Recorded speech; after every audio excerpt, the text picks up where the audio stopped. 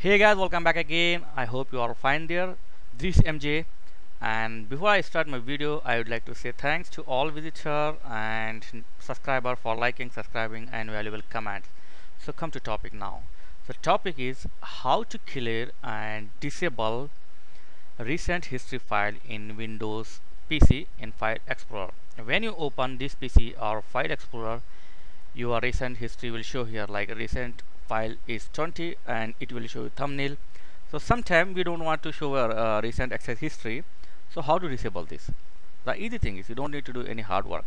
Okay? Just open this PC and now go to quick access right click check the options. This dialog box will appear.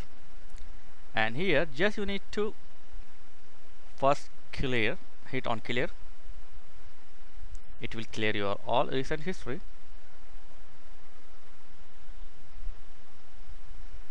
So after clear just uncheck these two things like show recent use his files in quick access and show frequently used folder in quick access. So uncheck this all these things two things and now apply. Okay that's it. So from next time windows will not stay not store your recently used history or files just go to this PC and nothing will happen. Look at that. So easy thing. Yeah you can use this for your daily use or you, if you are more uh, privacy concerned so you, you should turn off this feature in Windows PC so thanks for watching. See you next video. If you have any question ask me in comments. Please like share and subscribe. Thank you